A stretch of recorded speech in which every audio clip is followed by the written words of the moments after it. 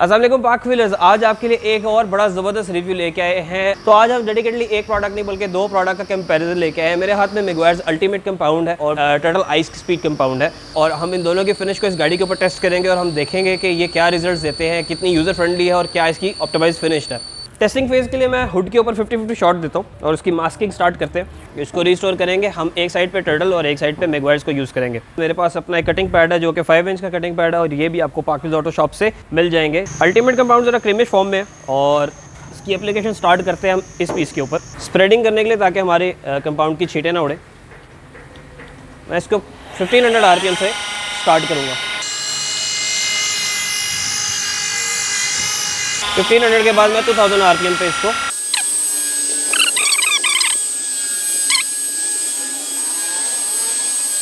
अब साफ़ टेरी टवल से हम इसकी कंपाउंड जो है उसको वाइप ऑफ़ करेंगे और देखेंगे क्या इसके रिजल्ट्स हैं।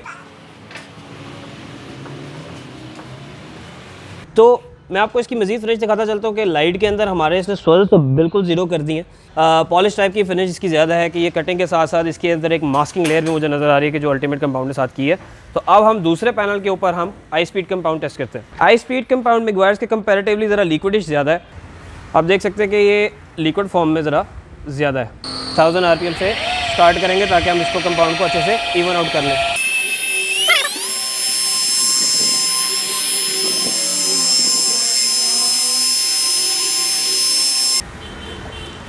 अब वाइप ऑफ़ करेंगे इसको।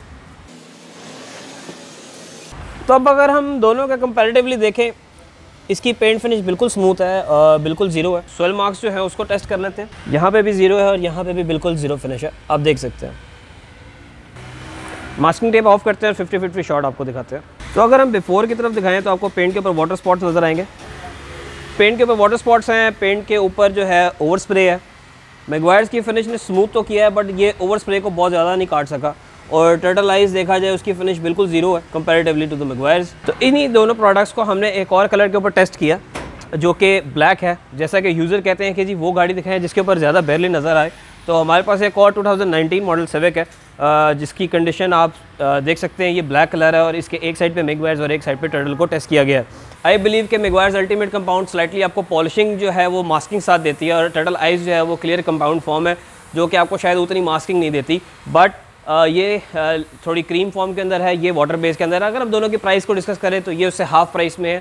तो आई बिलीव टर्टल जो है वो डेफिनेटली विन करता है इसके अंदर के टर्टल का जो रिज़ल्ट है वो कंपेरेटिवली एक टॉप एंड कंपाउंड के साथ ठीक थे और प्राइस में भी उससे हाफ़ है। तो इन दोनों प्रोडक्ट्स को आप हमारे ऑटो पार्ट स्टोर से बाय कर सकते हैं और घर बैठे अपनी गाड़ी के मेंटेनेंस को मेंटेन कर सकते हैं और एक शो कार फिनिश मेंटेन कर सकते हैं। तो मजीद आप स्क्रीन पे दिए हुए लिंक के थ्रू ऑर्डर प्लेस कर सकते हैं। इंशाल्लाह हाजिर होंगे नेक्स्ट टाइम एक और डिटेल रिव्यू के साथ। तब तक अपना ख्याल रखें। अल्लाह हाफिज़।